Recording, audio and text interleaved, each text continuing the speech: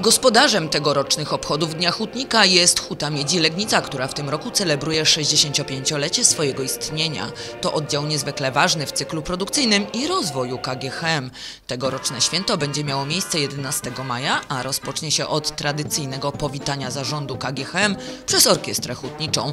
Będzie to miało miejsce w Lubinie o 9 rano. Akademia Centralna odbędzie się w Legnicy w sali Królewskiej Akademii Rycerskiej o godzinie 14.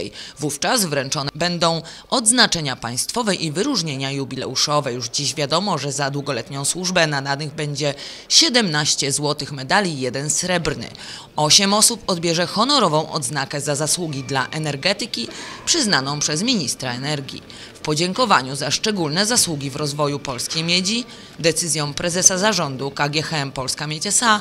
27 osób otrzyma odznaki honorowe zasłużony dla KGHM Polska Miedź S.A. Poza tym 30 pracownikom z okazji jubileuszu pracy zawodowej zostaną wręczone listy gratulacyjne i statuetki świętego Floriana. Po Akademii nadejdzie czas na tradycyjną karczmę piwną i comber babski. Piątek to nie jedyny dzień obchodów Dnia Hutnika. W sobotę 12 maja o 19 na Legnickim Rynku odbędzie się koncert.